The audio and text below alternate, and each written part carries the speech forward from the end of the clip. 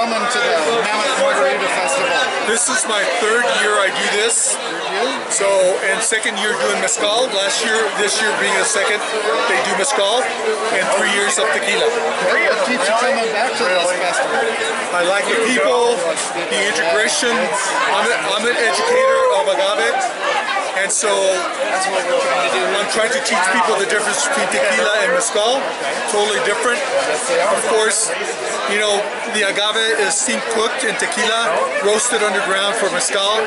It's what gives mezcal the smokiness. Del Maguey is owned by Ron Cooper, who opened the doors in 1995 for all the other mezcal companies in the world. Number one mezcal in the United States, number one mezcal in the world. Del Maguey. He buys from four different villages that are totally Zapotec Indians with Zapotec language, and they make mezcal the same old way that their ancestors used to make it 400 years ago. That's the way to do it, right? That's right. That's it. It keeps the flavor true. Keeps the flavor. That's correct. Is this one here? So this one right here is Chichicapa. Chichicapa is the name of the village. Maguey is the brand, but he names every village that the mezcal comes from, which is has its own microclimate. Uh, so he names it after the village. So Chichicapa was the first mezcal that Ron Cooper actually found. And then the rest is history. If I?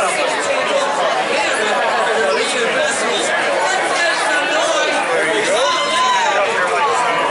So this is a 92 proof Del Maguey Chichicapa. Double distilled, Definitely got a little heat. organ- organic, It's got the nice, the and nice making it the way the ancestors used to make doing it. it forever.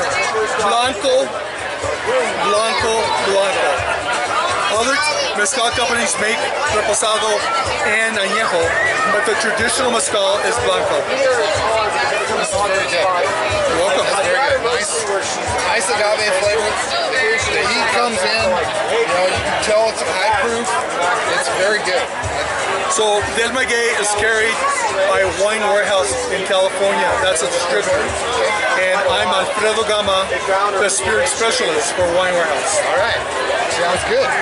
So in that, Thank you. as we say in tequila aficionado, sip wisely, my friends. Salute.